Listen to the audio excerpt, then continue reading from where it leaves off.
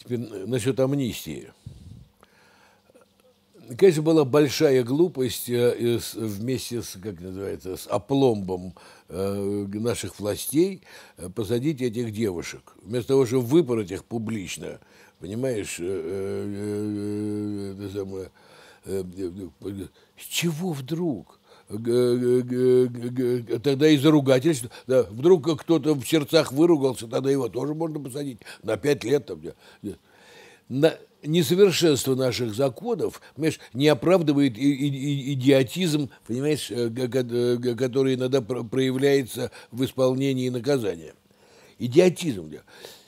Я бы для того, чтобы реабилитировать себя в глазах народа, прежде всего, немедленно бы отпустил бы Ходорковского и этих несчастных девушек, значит, э, которые достаточно уже бы... Потому что это ошибка. Они из них делают теперь уже герои. Они были никто, а теперь они, теперь они это, символ нации. Понимаешь? Этих несчастных девушек надо немедленно отпустить э, э, и извиниться перед ними. Теперь насчет Болотной, я не знаю, там, э, как мне рассказывали, там было много провокаторов, в смысле, которые не, не по делу, они не, не, не, против, не, не против чего, они просто организовывали драки.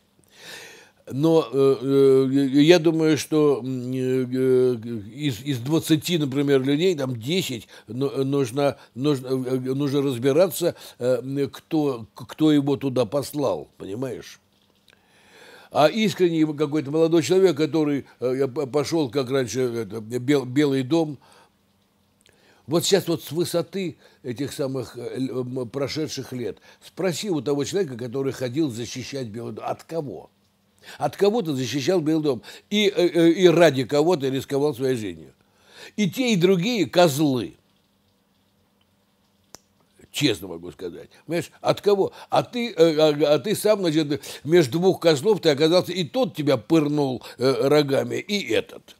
Вот кто, кто защищал Белый дом, они сейчас очень об этом жалеют. А там погибло еще несколько ребят.